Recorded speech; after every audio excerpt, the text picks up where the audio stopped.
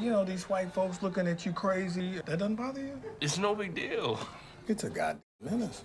It's, it's annoying. People looking at me like I'm whatever exactly they think that I am. But you know, it, it's not like it happens every day. So you saying people don't look at you like that every day? Well, that happens every day. You know, if I go outside or whatever. But it doesn't escalate every day. Is what I, is what I'm saying. Is that so? I'm not living in fear. I mean, is there fear? Yeah. Am I living in it? No? What? You were just explaining how none of this affects you. I just uh, try not to think about it, I guess.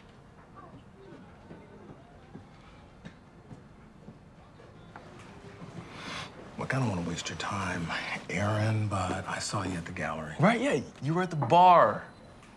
And I followed you because I think you're very talented. My work? Uh, you mean the yarn thing? No, that didn't make no kind of sense. But you, you I get. And I want to take you to a job interview. Oh, no, I don't know anything about bartending. Second job. You need money, right? I need a yarn store to change its return policy. Can it do that? Yeah. What? I mean, the pay is good. What is it exactly?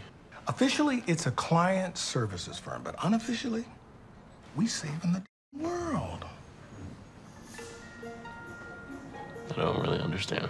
It's easier to show you. Here. Now? Yeah. You got any medical conditions, heart disease, What? eczema? No, no. Why would that? What? This way. Where are we? Did, did I just black out? I moved us a little. You moved? What? Hey. Hey, Roger.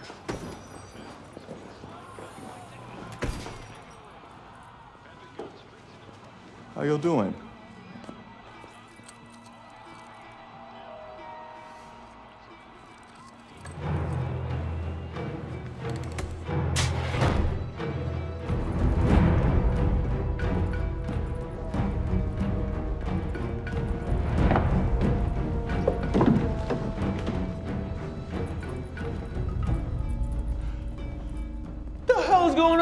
Now, I'm probably supposed to start slower with all of this, but there's a recruiting class starting right now, and we got to get you in it. Recruiting for what? Welcome to the American Society of Magical Negroes. Over the next few days, we'll introduce you to our work and determine if any of you are fit for membership. Now, since every education starts with the classics, let's take a look at some of our most accomplished predecessors. James Crampton, Savannah, 1923. Watch his approach to the work.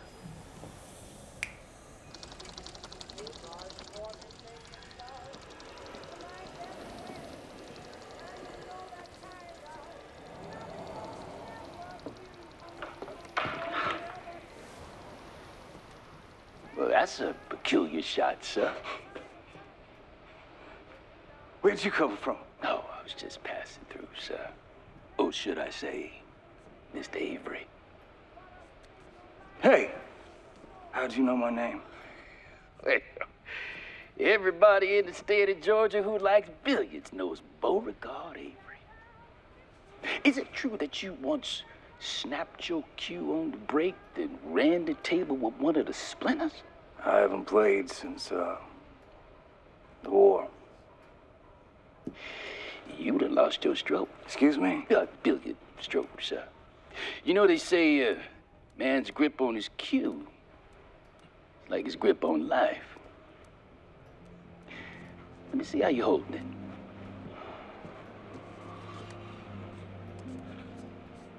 Now, see, you thinking about whether you gonna miss. Missed a little bit in your life. But you can't think on that now. Now you got to just close your eyes and get your stroke back.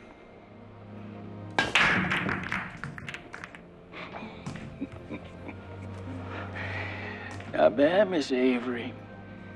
Not bad. Now, obviously, you'll be using a more contemporary dialect and a lot of other innovations we've made since Jim's time. But he was a master of the fundamentals. So, what did you notice about Jim's approach to the work? He doesn't make it about himself. It's always about the client. Client service first. What else? He's really friendly. That's crucial. Anything else? He's wearing suspenders. Okay, let's take a look at another one. Marcus Dunham, 1955.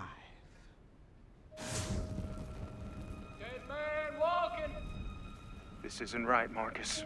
Well, boss, it ain't about the life leaving this world, it's about the life coming into it. What do you mean? I know that you and the missus been having trouble making life.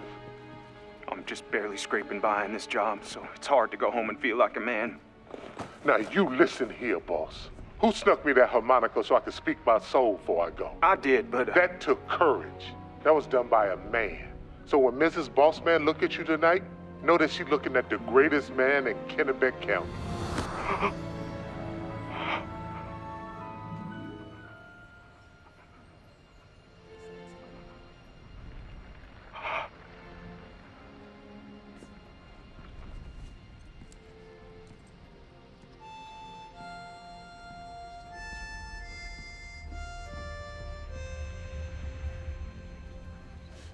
What about this one? Anybody else? The spiritual was a nice touch. Perceived authenticity. Your interests and hobbies have to be authentically black as understood by the culture. We're showing the client the parts of ourselves that make them feel good. And nothing more.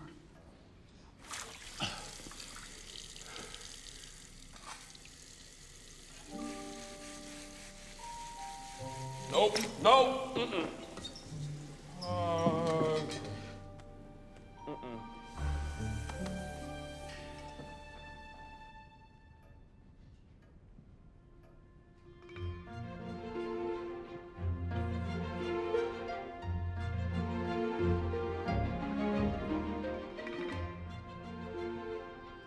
I'm sorry. You can't conjure yourself a steak dinner. Magic only works in the service of clients. So if he's dieting, you're mm-hmm. dieting. Oh, right. Well, if she knows that much, you'll have to do a memory spell. Mind if I take control of your powers remotely? Anything medical requires physical touch. Even if he's sweaty, yes. No, that's me controlling your powers. This is nice. I like it. Yeah. Not too tight.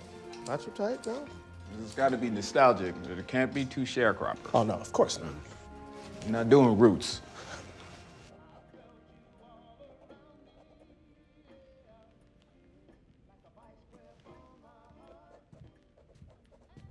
How goes? it's it's really interesting. It's um, you know, the the name needs a little updating, maybe like magical black people, or I guess that doesn't have the same ring, but uh, What are you trying to say? I'm not sure this is for me.